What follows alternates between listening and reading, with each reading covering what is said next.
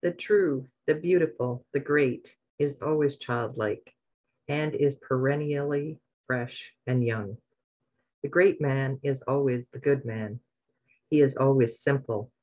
He draws from, nay, lives in, the inexhaustible fountain of divine goodness within.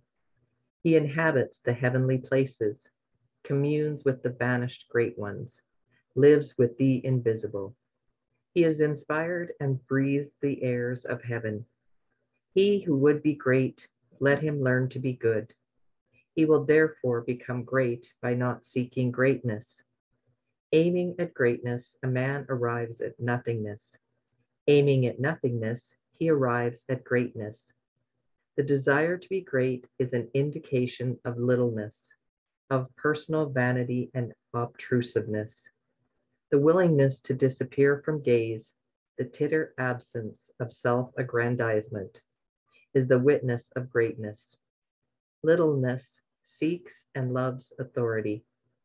Greatness is never authoritative and is thereby becomes the authority to which the after ages appeal.